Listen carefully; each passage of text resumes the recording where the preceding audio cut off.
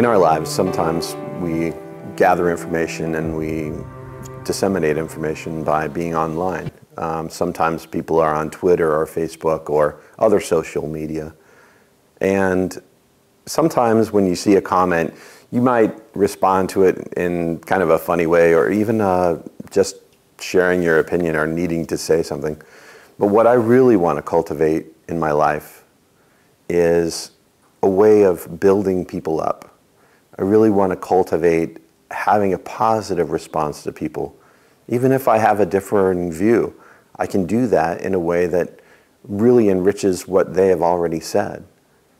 And if I have, uh, I see someone who is in need or, or someone who's suffering, saying a comment like thoughts and prayers says something, but maybe reaching out with a personal message and trying to really help in some way by just saying that we're here, we're listening, we stand with you. So I want to cultivate that in my life where I don't so much try to just make random comments or funny comments, but I really cultivate being Christ to other people, being loving and caring and accepting and embracing.